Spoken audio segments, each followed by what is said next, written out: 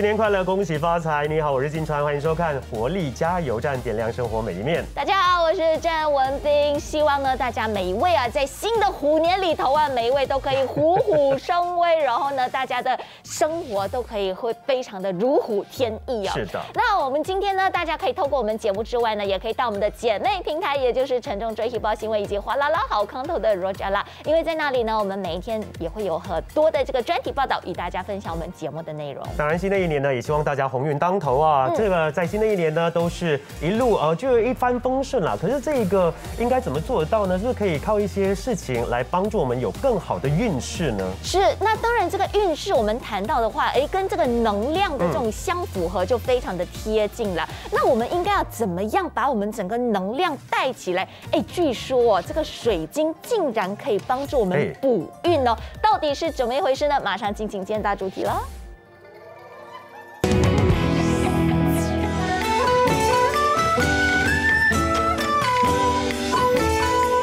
着农历新年的到来，许多人会在家中放置水晶，因为水晶晶莹透亮，不仅可以提到装饰的作用，更重要的是，因为水晶具有强大的能量，可以提升健康、财运、事业、情感、婚姻和学业方面的运势。但是水晶种类很多，每一种的效用都不一样，大家一定要根据自身的需求选择适合自己的水晶，才能有效的改善运势。此外，使用水晶也有许多的注意事项。若是使用错误，有可能会引起反效果，所以一定要先了解后再使用。今天就让我们随着活力加油站与专家一同学习如何选购适合的水晶，在新的一年里改变运势吧。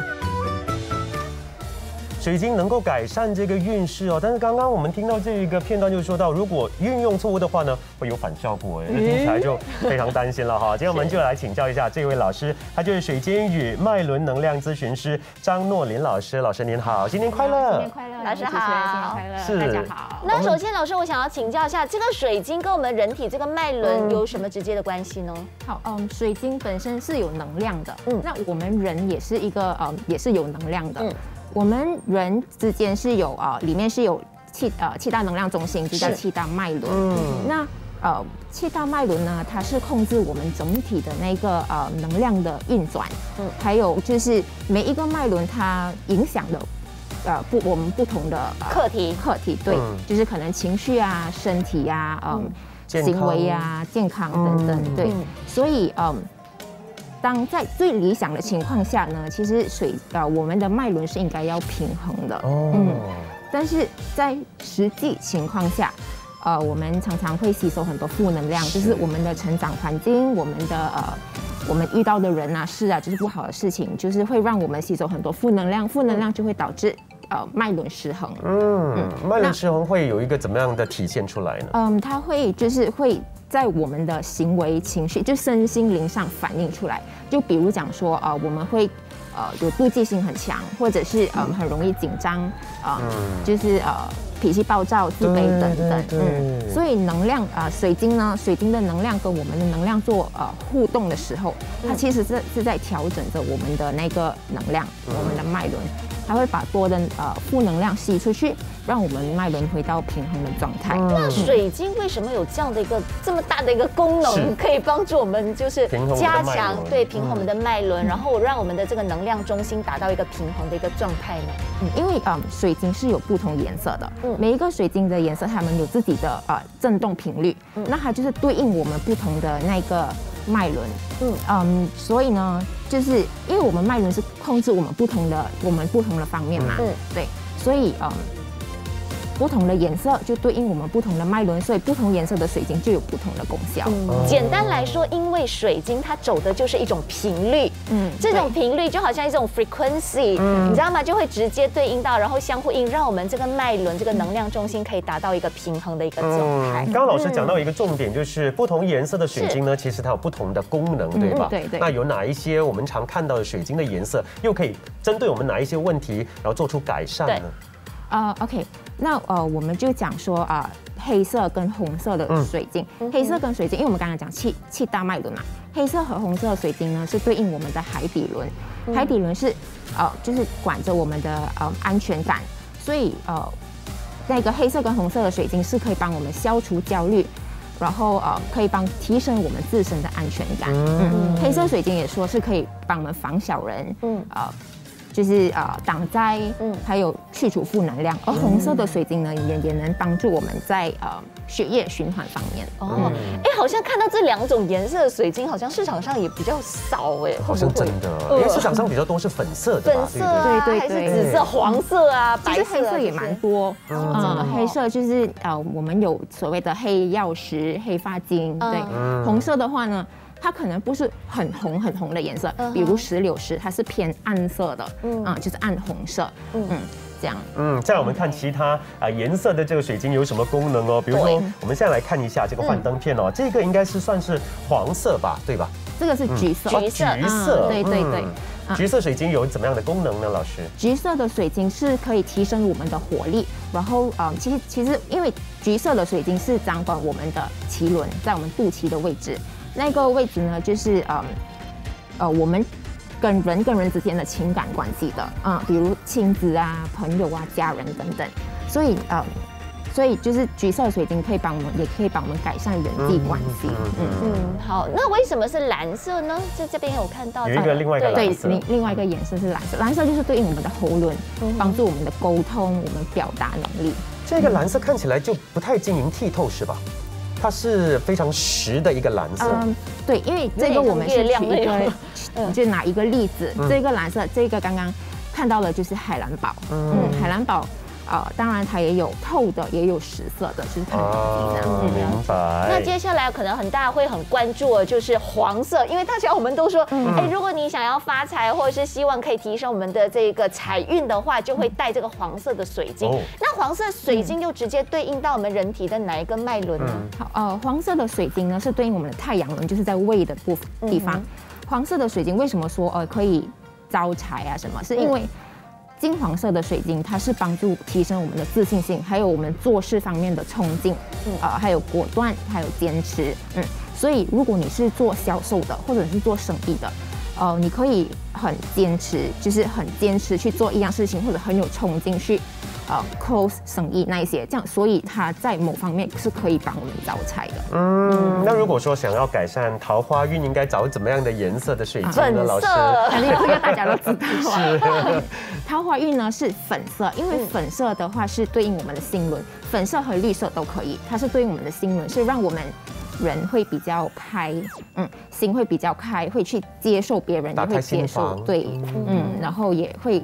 懂得怎样去啊原谅别人，原谅自己，嗯，所以啊粉色是招桃花的。另外绿色呢，它也有另一个就是，呃，在啊我们东方人里面说绿色是机会之光上，就是可以帮我们招商机、招机会、有转机，就是一个很 fresh 的颜色。嗯嗯，还有什么要问呢？比如说我想提升一下我的。呃，求技能或者说知识这方面，嗯，OK，知识方面呢，就是呃，我们的眉心轮就在我们所谓的天眼，OK，就是在两眉之间的，呃，是紫色还有电色的水晶。那这一个水晶呢，是帮可以帮我们开发智慧，所以小朋友是对小朋友来说也是很好的，嗯，开发智慧啊，提升我们对新知识的吸收，还有就是自我认知，就是知道自己呃想要什么东西，自己的目标是什么。嗯，那一些就是紫色或者是靛色的都可以。老师，我也看过一些是透明的，嗯，它没有颜色或者是白色或透明的，它有什么功能？嗯，白白色呃，我们就是最普遍的就是白水晶嘛，嗯，白水晶或者是呃或者是透明啊透明的就是白水晶，对，它就是对应我们的顶轮，嗯，顶轮就是呃我们的呃精神精神状况，呃。也可以帮我们改善睡眠的问题，还有就是嗯忧郁、消极的方面的问题。嗯，就是说可能我现在情绪比较差，或者是可能比较负能量的，我就可以透过呃这个透明的水晶这样子。那其实每次都很在听老师这样子讲解的话，就是有不同颜色就会对应到不同这个能量中心。那我们在呃这个水晶上，我们是要摆放还是我们要佩戴呢？嗯嗯呃两种是不一样的，就是嗯。把佩戴的水晶呢，它是戴在我们身上，就是它跟我们是有很直接，我们去到哪里，它的能量就跟我们到哪里啊。如果摆放的话，是那一个空间的能量，嗯，所以好像比如说我在啊、我在卧室。卧室对，嗯，想要比较好入眠，对我就可以放那个透明的水晶。月光石对，嗯。其实间很亮。我我看过一些朋友呢，如果说他们都是在研究这个水晶的话呢，嗯。他们身上会带很多水晶，可是今天老师其实带很少而已。那稍后呢，其实也可以问问老师哦，到底这个水晶戴法应该怎么戴哦？当然，对。呃，有一些人说水晶是不是也有分类的？比如说一些水晶是针对呃呃就是催财啦或者健康啦、开运之类的，是不是也有这样桃花还子的分类是什么的。对，嗯，OK，水晶其实它对可以这样分类，不过因为水晶有种类有很多，而且每一个水晶其实它的功效都蛮多的，嗯，所以嗯，比比如说桃花类的，就比较普遍的就是粉晶、草莓晶，就是红粉色的，粉色已经是最桃花，不过也要看个人情况。是。如果你是嗯你在感情方面你的沟通可能比较差，就是因为你的沟通问题，你不敢跟人家讲话，所以你感情没有那么好。所以啊、呃那海蓝宝蓝色水晶也可以绑到桃花。然后此外就是呃建议给大家管带桃花的，还有呃太阳石、紫锂灰、月光石、葡萄石。嗯，嗯，健康方面的话呢，就是呃。因为我们刚刚讲嘛，不同颜色的水晶其实对应了不同脉轮，也就是对应了不同的身体部位。是。所以其实水晶都是可以在各个方面都是可以帮到健康，是看你要哪一个部位。嗯所以比较普遍的有石榴石、金发晶、拉长石、月光石、紫锂灰、呃药石类，还有数据来绿松石这一些。还有就是开运的这个水晶啦。但如果说觉得太过复杂呢，我们就以颜色来区分，会比较容易一些了哈也可以嗯。哎，嗯，所以通常就是可能如果是财位的话，你想要招财，然后也会就是可能有这个黄色的水晶会放在你的财位库啊，嗯这些这样子的，对不对？那稍后呢，老师会再更加的细细的跟我们道来哦。所以我们现在先休息一下，稍后呢继续留守我们的火力加油站。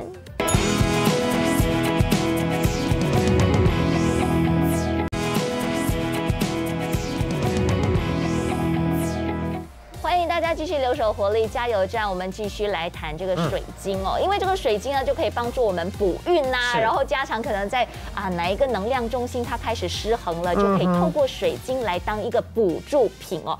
那么老师在每一年其实我们也会有看我们的这个生肖运势啊，那可不可以说这个透过我们生肖运势，然后看到这个水晶可以有一些补助呢？那其实生肖跟这个水晶有没有一些直接的关系啊？好，嗯，生肖和水晶其实没有直接的关系的。嗯嗯，生呃水晶呢是跟我们个人的运势有关，嗯就是呃你去看了，你知道你今年的运程是如何，哪一方面会比较弱，哪一方面需要改善，你想要加强的，那你就可以找找对应的水晶来配合去加强你的你那一方面的运势。嗯嗯，这样。嗯，虽然说没有直接的关系，但是老师也去研究了，在二零二二年这个虎年呢，这些生肖的运势如何，然后呢又可以怎么样去补足哦。这边老师有给大家一些建议哈，我们来看一下老师怎么建议的，比如说在桃花方面，嗯，好，嗯，在桃花方面呢，嗯，如果你的运势是属于就是你的桃花运势比较差的话，就是、呃，今年可能呃你的运程说你可能脱单的机会比较渺茫的话，那呃我会建议粉晶，因为粉晶呢是啊、呃帮助提升我们的人缘还有异性缘，就是多多去交朋友。嗯拓展你的人脉。对，OK。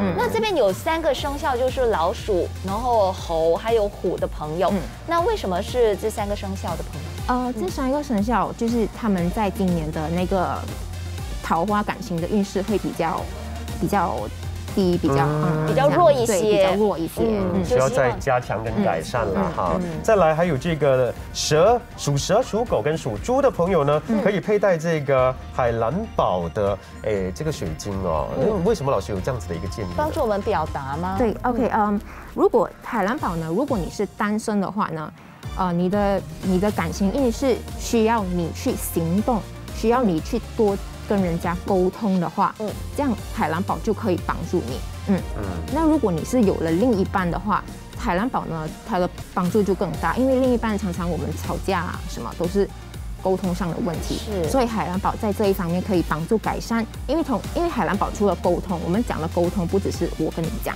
是。我也要听你讲，嗯，这个就是海蓝宝的功效。嗯，就建立一个健康的一种呃呃互动沟通模式，对这样子对不对？OK。老师还有第三个建议，就是属虎、属马、属鸡跟属狗的朋友可以佩戴的是太阳石。嗯嗯嗯，对，嗯，如果是单身的话呢，呃，佩戴太阳石是可以呃帮助你展现个人魅力的，因为啊、这呃生肖里面呢，这几个生肖里面，呃，单身的话，他们的人缘运其实已经很好了。嗯嗯，只是人缘运好的话，代表你很多朋友，可能你会很多聚会，你会很多社交活动。那在这些聚会里面，你要怎样成为一个就是焦点，突出人家看到你？嗯对，这个太阳石就可以，就是可以帮你在在在这一方面可以帮到你。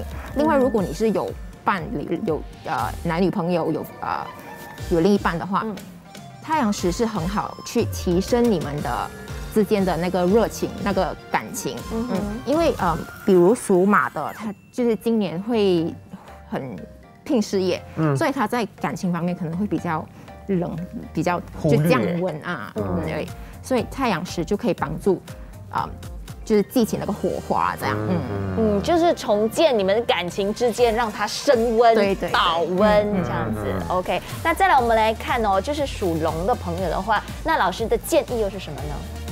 呃，属龙因为呃今年的运势是就是桃花运是嗯呃呃增比就是还会更弱的啊、所以呃那个建议就是在紫离灰，紫离灰是调整我们身心灵的，就是先今年你就可能先做好先净化自啊，先自自我提升这样，嗯嗯，先把自己保持在最好的状态。嗯哼，最后呢，老师建议这个属鸡跟属猴的朋友可以带月光石哦。嗯，对，因为月光石呢，它是很好帮助情侣还有夫妻之间，呃，提升他们之间的浪漫的感情，还有他们信任感的。嗯因为，嗯、月光石是让我们多多忍让、包容那一些。嗯，所以如果是呃夫妻之间，呃，有经常会呃吵架啊还是什么，就是、嗯或者是脾气比较不好的，嗯，那就可以月光石可以帮到。好，如果根据老师刚刚建议，比如说，嗯诶，属虎的朋友，诶，老师建议，比如说粉晶跟太阳石，那意思说他两样都要带吗？还是他想针对这个，他就带这个对对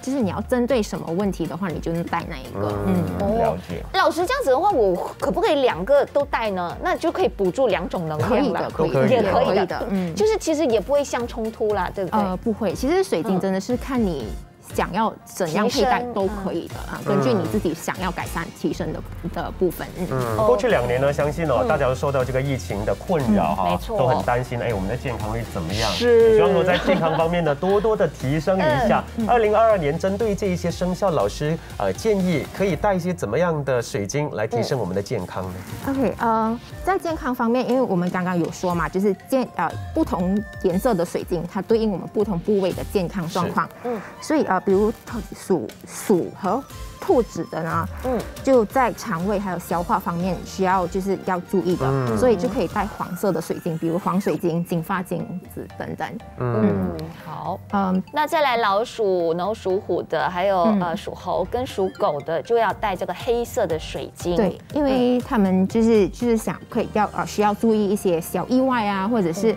有一些刀伤啊那一些，因为黑色的水晶是帮我们抵挡负能量的。嗯，那属牛跟属马的朋友有什么建议呢？嗯属牛跟属马的在今年可能就是需很比较需要冲的，嗯所以呃。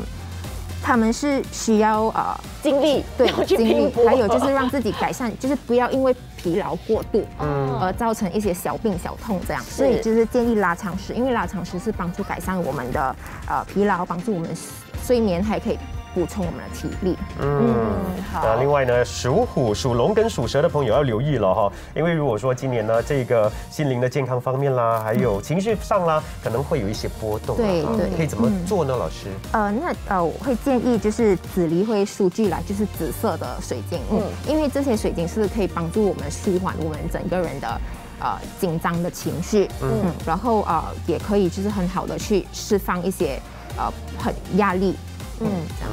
OK，那再再来的话，我们生肖牛、羊、鸡的朋友的话，可能在这里的话就要提升免疫力啊，强身健体。哎那为什么是要这样子特别要提升免疫力呢？老师？嗯，因为这几个生肖它就呃在。今年要注意的是一些小病痛，嗯，因为常常啊伤风、咳嗽那些小病痛，嗯，所以啊这里我会建议立松石，因为立松石就是帮我们提升免疫力的。了解，那我们都说病从浅中医啊，所以也不要忽视这些小病啊，对对，所以也要提升一下的。哎，那当然了，还有一些水晶呢是能够帮我们是开运的，嗯，哦，提升要不要说一说？回望。好，开运的水晶是看你的，啊，就是你整体，你整体，呃，可能有你只要再加一点点。辅助的话，你可能你整体的运势就会更好，如虎添翼这样子。对对对。嗯，那这里老师也呃做了一些建议了，比如说属老鼠跟属马的朋友呢，可以诶就佩戴啦，或者说应该算是佩戴吧哈，可以用这个金发金。金发金，对，嗯，属老鼠的，因为呃今年其实是需要就是呃。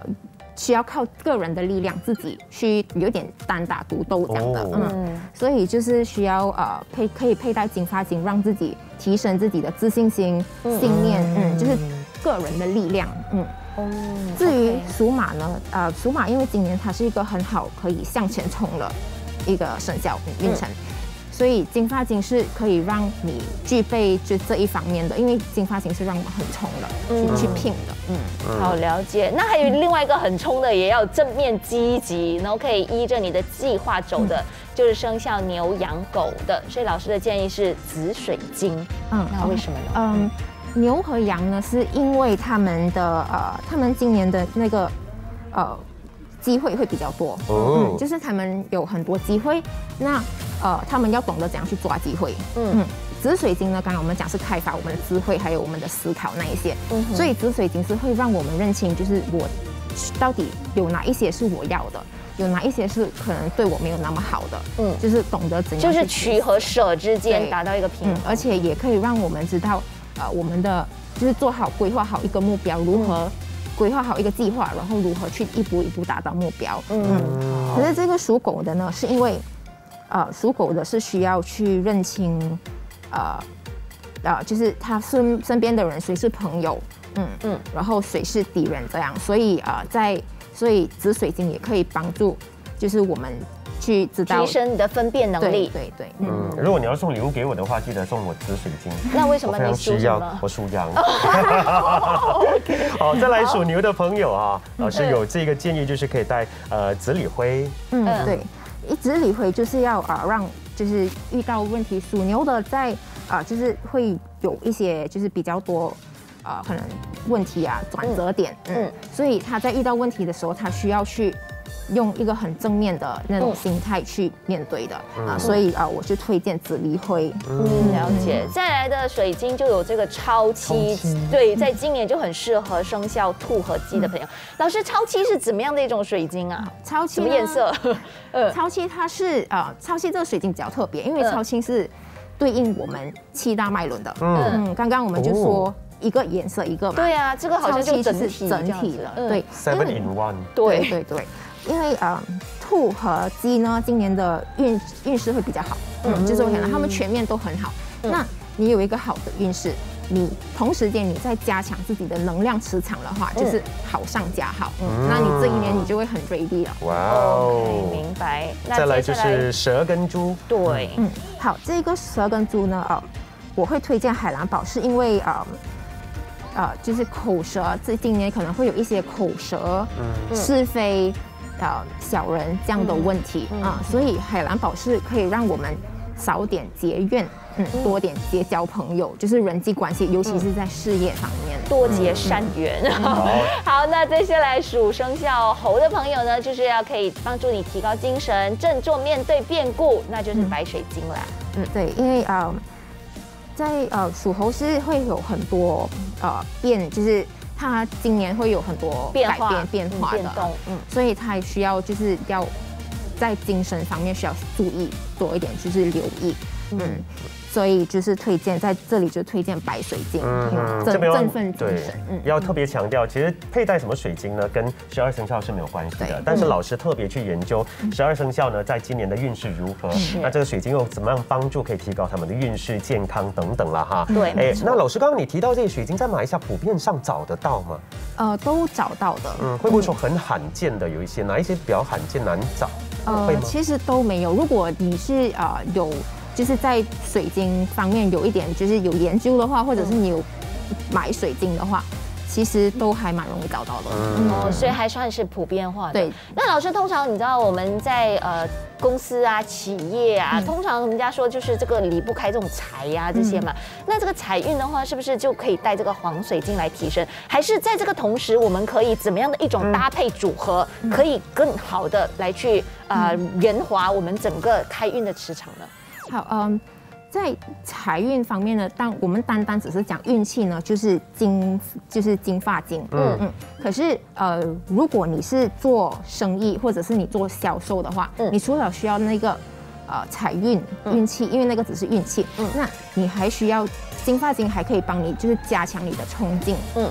嗯，干劲去真正去拼你的 sales，然后同时间呢，做 sales 的人或者做生意的人最需要的就是表达，是要沟通，要去见顾客，要去做 presentation。So，金发金加海蓝宝是给就是推荐给做生意还有做销售的一个很好的搭配。嗯然后刚刚提到这个做人际关系哦，就是有一个搭配，就是蓝色的跟粉红色，嗯。对，因为你要有这个桃花，对让人家喜欢你，对吧？嗯。要接近你，靠近你，对，在同时间在跟他们沟通交流。对，没错。当然，我们说，如果是一个人可以走得很快，但是一群人一起走，一个团队肯定就可以走得很远。所以，怎么样来可以凝聚整个公司的团队呢？嗯，嗯，如果你是一个公司的领导或者一个团队的领导呢，会建议佩戴黑发巾和金发巾。嗯嗯，因为黑发巾呢，它是提升我们自身的安全感嘛。你领导人之前，你自己要先有站得稳。是是黑发精也是提升我们的魄力还有执行力。嗯嗯，同时间你在加强你的呃自信心还有冲劲，嗯嗯，那一方面毅力那一方面，那你就呃可以让你成为一个很好的 leader。嗯嗯，谢谢老师的讲解哦。我们先休息一下啦，稍后回来呢，我们继续要请教老师。在市面上有那么多真假的水晶，真的担心说自己付了很高的价格，嗯可是买到一个假水晶哦。那我们怎么去分辨真假水晶呢？稍后回来请教老师。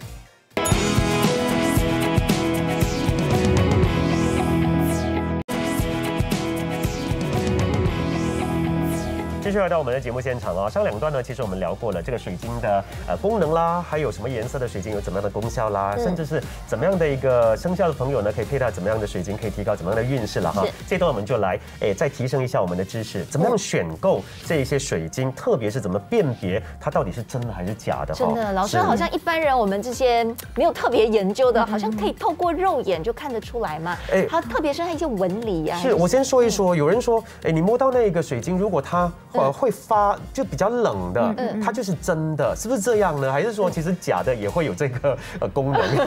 因为呃，OK，先讲你刚刚讲的那个呃，水晶它有这样的这样的功能，是因为水晶导热很快，嗯嗯，所以当你放在冷气或者一个比较冷的室内的话，它会你一摸的时候它会很冷，是然后关键是在于当你一摸或者一佩戴，它很快它就会变回。就是原本跟我们体温相近的那个温度，嗯，呃，一般上真水晶是可以这样这样子去辨别的，因为比如小玻璃啊，还是其他的材质的话，它们散热导热会比较慢，哦，嗯，只是说这个也是靠我们感觉啊，也没有一个真正的一个理据说，嗯，它是不是真真的可以这样分辨？嗯，了解。那是不是我们可以一般人就透过肉眼就可以识别出来，还是要特别拿去鉴定家，还是什么样的？嗯，最直接的方式呢，其实就是拿去专业机构做珠宝鉴定。嗯，不哦，过其实很多人也不会这样这样做。对啊，好像因为也要去花一笔费用，对不对？嗯嗯，对对，所以呃，主要还是要多看，还有多问啊、就是。比如你要你你想要呃买一条水晶，那你就去跟几个卖家、几个水晶卖家先去问他们讲说，哎，可不可以给我看这个水晶大概这个价位的啊？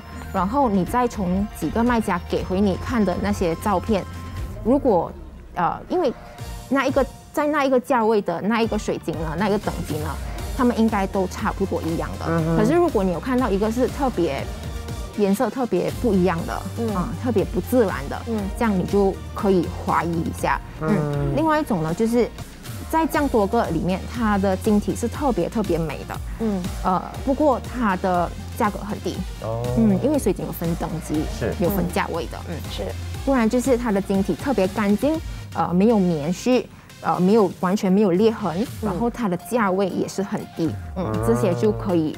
就是会你你需要去怀疑对，因为它是人造出来，那人造可能还没有做到完美无瑕的那一种，就要多多的去质疑一下，不要马上的就付钱什么之类。不过回到来这个形状呢，有没有说真的水晶是有这些形状，假的水晶是别的形状，有没有呢？呃，其实没有，也没有。对啊，这个应该很难吧？对对，因为有心要做假水晶的人，他们会仿着新真的水晶的那个样子来做。可是这个不同的形状的话，是不是有不同功效呢？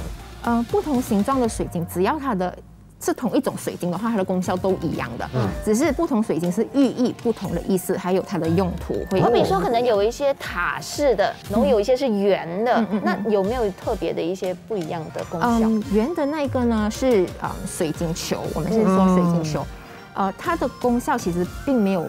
影响它的功效，嗯，只是圆的就代表寓意着有求必应。哦，如果你要心想事成的话，有些人就会买水晶球来拜，嗯，也寓意着夫妻感情圆满。嗯嗯，如果戴在手的也算是圆的吗？对，戴在手呃也算是，也可以这样说啦。嗯嗯，好，那另外我们也看到有这个，这第二种是算水晶山吗？紫晶洞吧，这是 紫晶洞，对对，紫晶洞，因为它就是一个好像一个洞口这样，可以。聚那个气财气在里面，所以就是讲说哦，如果水啊有水晶洞的话，可以寓意着可以聚财，呃招财守财，还有找福气这样。了解。另外一个就是好像塔式的那一种，那个又是怎么样的？嗯，那个是叫水晶柱。如果你看它的呃形状的话，它是厚厚，然后到尾端是一个尖角。是。所以这个呢，就是说可以它可以疏导水晶的能量，凝聚能量，就是把能量啊。凝聚在它的那个周围，所以如果你的啊这个角落想要有啊特定这一个能量的话，这个水晶能量的话，这样你可以就是放水晶柱在。嗯，那如果有很多水晶柱组成的，那是叫水晶块吗？那个是叫 那个是叫水晶簇簇，对，水晶簇一样。嗯，对，那个呢，它是天，因为那个刚刚讲水晶柱呢，柱子呢，它是有经过。打磨的，所以它的是平滑的，它的那个面，嗯，水晶簇呢，呃，或者另一种叫水晶原石呢，它们就是从水晶矿怎样出来，被敲怎样出，就被敲挖出来过后。它就是那个形状的那种，对，然后也没有经过打磨，所以这种呢，就是说它是跟它的能量是跟地球最接近的，哦，然后它也有最纯洁的能量。嗯，OK，那是不是另外一个好像这种就闪闪的这一种，有点像石头？嗯，对，这种是叫啊水晶滚石，它是比较小块，然后它的面是滑的，嗯，所以就很适合我们做冥想的时候握在手里，或者是放在身体就是对应的脉轮的部分来这种冥想的时候。后帮助我们做能量的连接或能量的疏导。哦，了解。哎，那买嗯买了这个水晶之后要怎么摆放呢？真的有没有规则啊，老师？呃，其实水晶摆放是没有特定一个一个就是一个技巧还是怎样的。嗯嗯，所以呃，但是要注意的就是有三三啊三个地方要避免。第一个呢，就是呃尽量不要放在太阳直接暴晒的地方。哦，嗯。会晒伤它吗？对，阳台或者如果你的房间是那个阳光是直接照射的，就不要放在那种太热太热的那种地方。嗯，因为有些水晶晒久了会颜色会很浅变浅。嗯，还有哪一些地方是不适合的呢，老师？呃，不适合放在好像有那个什么电器那种很多的那个。OK，就是因为水晶不建议放在电器附近。嗯，因为电器本身是一个电磁场，嗯，水晶也是一个磁场，是，所以他们放在附近的话，其实就会有一些干扰，然后就会影响那个水晶的能量。嗯，不能放在电视旁，对吧？对，电视，呃，或者是电脑，对，嗯，哦，所以这个书桌尽量也不要放水晶喽。呃，书桌如果有电脑的话，就尽量不要放，可能就可以放在，呃，可能你旁边的小厨什么那样。好，还有哪一些地方是不能够放的？嗯，还有就是，呃。阴暗比较阴暗，就是长期阴暗的地方。嗯，因为这些地方你放在这些地方的话，水晶是它没有接触到阳光，它就不能，它就会一直在吸收着负能量，哎嗯，所以对那个水晶也不好。是是是。哦，所以水晶也会这样子来吸收那个负能量的哦。对对，因为呃，水晶跟我们就是它除了是它吸我们的能量，其实也是把能量吸了给它。嗯哦啊、所以呃，对，所以就是尽量让它放在有阳光的地方。嗯。嗯，刚才我其实提到哈，我看到一些呃研究水晶的朋友呢，他们可能身上带有很多水晶，嗯，可是老师其实带不多哎，那其实，在带在身上的话，是不是也有一定的规则呢？嗯嗯，如果是拿来带在身上的水晶饰品的话呢，嗯、一个手就建议最多三三种水晶，三种水晶，三种可以六种，全身最多五种就好了。啊、就包括你的包括链链啊，对不对对，有些人戴耳环啊、脚链这样。嗯，因为嗯。太多种不一样的水晶，就是你会有很多能量在你附近，就是会呃形成干扰，对对对，吧？就很乱。哦嗯，对。那我们之前看到呢，一个手三种，全身五种，那左手是吸纳型，右手是投射型的。嗯，怎么样来理解？OK，嗯，左手呢，因为呃，我们常常讲左进右出，嗯嗯，左手呢，就是最好是带那种可以帮我们招招财啊、招桃运、招招桃花的那一些水晶。呃，因为它是帮我们吸收能量的，把我们把能好的能量吸进来给我们。右手呢，就是要散出去的，把我们体内的负能量排放出去。嗯所以一般上戴在右手的，一般上啊都是黑色的水晶。嗯，其他的其实，嗯，一般上都是戴在其他的左手都是，左手，都会吸纳它的这个能量哈。对对对哎那老师在佩戴水晶上有没有一些要特别注意的一些事情？是长期要佩戴吗？还是什么时候要把它除下来？对，嗯，水那佩戴冲凉的时候水晶要放要拿开吗？呃，对，呃，佩戴水晶就是不建议就是戴着睡觉啊，戴戴着睡觉，因为呃，刚刚我们说水晶就是一直它早上我们戴着的时候，它一直在吸收我们的负能量，所以呃，最好是我们睡觉的时候把它放着消磁。然后同时，为什么不能佩戴水晶睡觉呢？是因为呃，我们在睡觉的时候，我们要休息的时候。有些水晶它是会加强我们的能量的，哦，就会影响到你的睡对，眠有。时候会发噩梦这样啊。哦，那再来呢？可能洗澡的时候，洗澡的时候也不建议佩戴，因为嗯，我们洗澡的时候，其实水晶是可以碰水的，因为很多人问水晶可不可以碰水，其实水晶是可以碰水的，只是。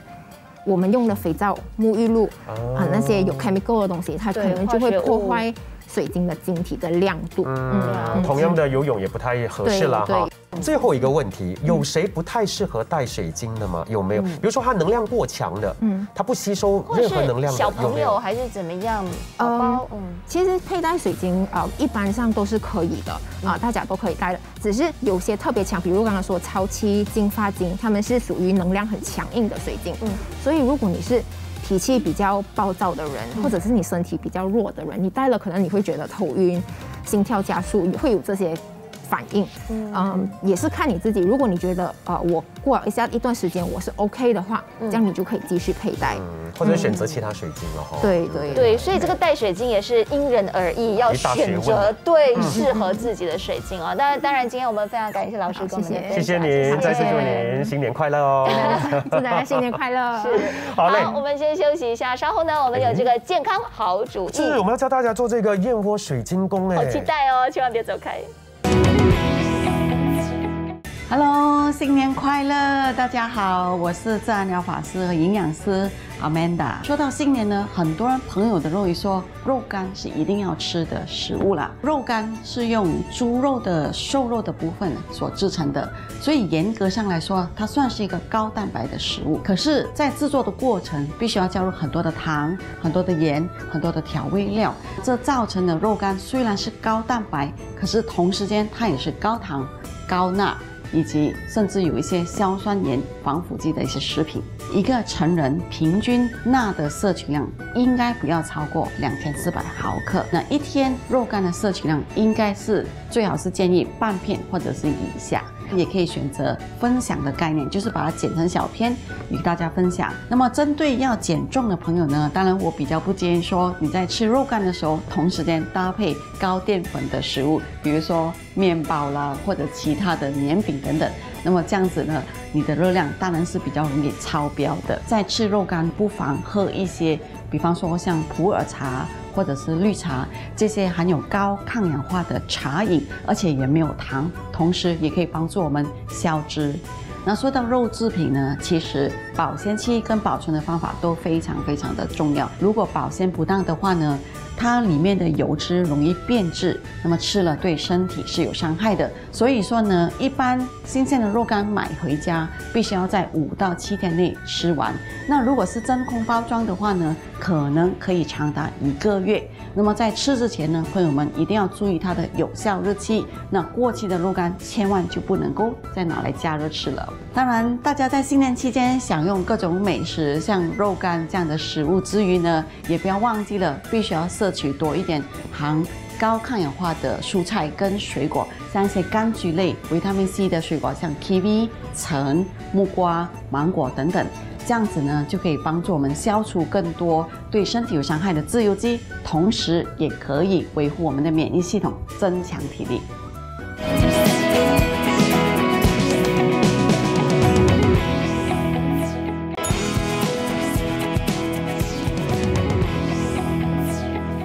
继续回到我们的节目《火力加油站》哦，今天我们的主题呢都是围绕在水晶。那这个时段呢，或者说这一段的节目呢，也就是健康好主意哦，也不例外的。我们今天的这个甜品呢，也是跟水晶有关的，那就是燕窝水晶宫。到底是怎么样的一个做法呢？先请出我们今天的甜品师傅，他就是曾令美老师。老师你好，新年快乐！新年快乐！是来说一说这个是叫做什么啊？呃燕窝水晶宫啊？为什么有这个构思要想要做这个甜品呢？呃，因为在新年期间，大家都呃很大方的啊，可以就是吃比较贵的一些食材，包括这个燕窝。对好了，我们需要哪一些食材？需要哪一些材料呢？我们有鲜奶油，鲜奶油啊。对，牛奶、糖跟这个阿尤达。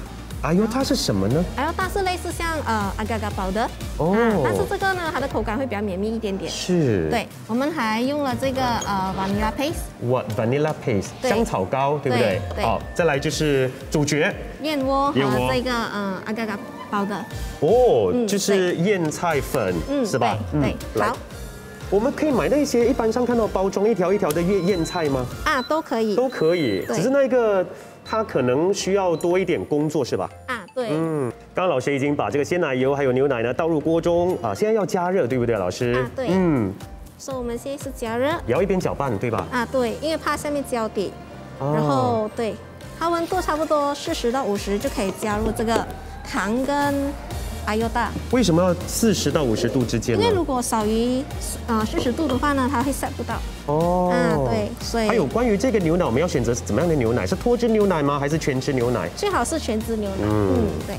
然后呢，过后就可以放这个香草，香草膏对，给它带入一些香味。是嗯，对，这样子。要煮到它滚沸为止。对，嗯，这整个过程还要注意什么呢？老师嗯，大致上是这样子而已。嗯嗯，因为这个呃蛮简单的。是，嗯，就是说要不停的搅拌了哈，对到它滚为止哈。对。OK，所以现在我们可以把火调大。嗯嗯看起来这个温度要掌控的非常好。嗯，对。只是前面那个要注意四十度过后才可以加入那个艾油大粉。嗯，这是老师自创的一个食谱吗？嗯，算算是一个创意的食谱。啊，对呃，OK，啊，好了对哦，其实挺快的吧？。对，很简单接下来要做的步骤是什么呢？啊，对。这样要麻烦主持人帮我没问题然哦后倒入在这个。为什么要用这个呃过滤的呢？过筛因为我们要过掉它的渣跟它的那个呃泡泡对。哦，所以在这个时候呢，我可以做这个。哎，真的哎，有一些硬块。好，这也很容易，很简单呐、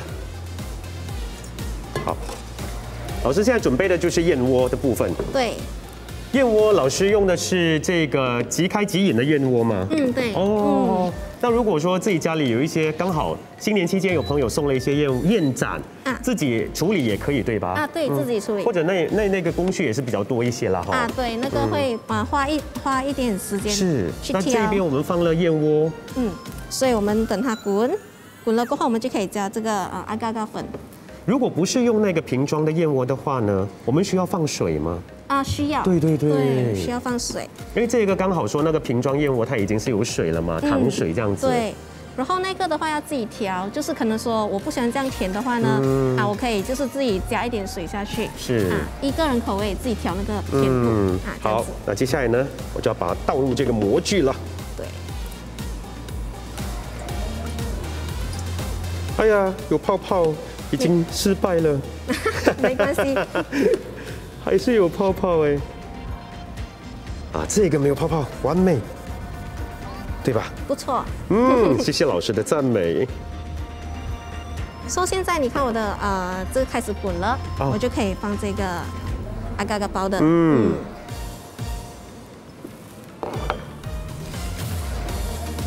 那这个牛奶的部分呢，需要冷藏吗？老师，啊，需要让它凝结，对吧？啊对嗯，放冰橱差不多半个小时哦，要等半个小时。啊，对，要看它的呃大小，嗯。嗯，如果它是宽的杯的话，可能要一个小时或以上。哦，就看你们的这个模具的形状是如何，然后大小又是怎么样的。啊，对哇，好快滚了耶！对，好，我们差不多了，因为我们也要让它去冷藏一下哈。哎，这个我们的燕窝也差不多好了。我们这时候先再看一看我们今天需要的食谱还有做法是哪一些。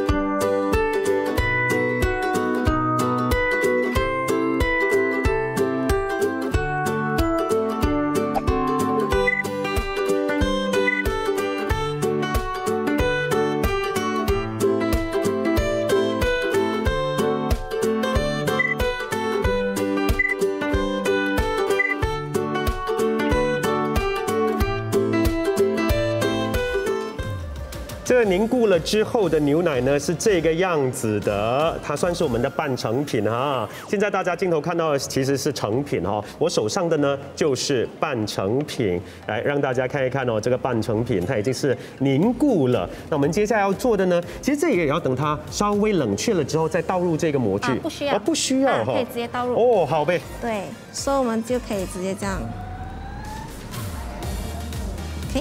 这多少其实也让自己可以去做决定了，对不对？嗯对嗯。也是依照个人的喜好。如果有些人喜欢吃比较多、比较香的燕窝的话，可以放嗯，就倒多多一点对点。但这个口感吃起来的味道呢，就是有一点牛奶的味道。牛奶对，然后燕菜的口感对，首先会先吃到这个燕窝，是，对，后面才会吃到牛奶。嗯，那如果我想要增加它的色彩的话，我可以放一些什么染色什么之类的吗？色素？啊、可以的，我们可以在牛奶这里加。